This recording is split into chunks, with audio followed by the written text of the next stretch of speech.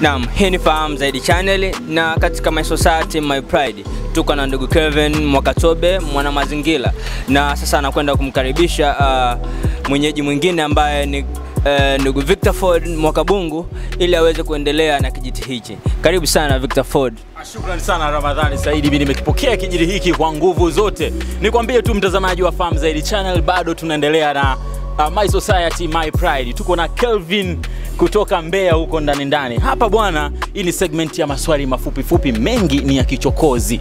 Bwana, wewe ni mtaalamu wa mazingira. Mazingira ni nini?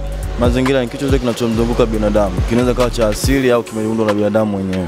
Ah, kuna ile namna fulani hivi ambayo mimi huaga naongea nikiwa naongea na mshikaji wangu, au sio? Oya mwanangu, we sikiliza, tengeneza mazingira fulani nini, leo tule ugali.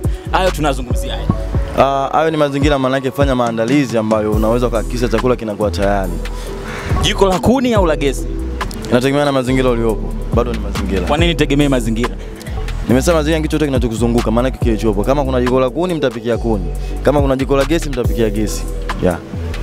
Safi sana bwana mtazamaji wa Farm Zaidi channel, sisi leo tunaishia hapo tu. Tulikuwa na Kelvin kutoka huko Mbeya, yeye ni mtaalamu wa mazingira. Nikukumbushe tu kwamba leo tumepewa nguvu na fimbo ya mnyonge carpenter specialist huku Mbezi Beach jijini Dar es Salaam. Nikusii tu salia na Fahamu Zaidi channel. Fahamu Zaidi channel, we make the world better place.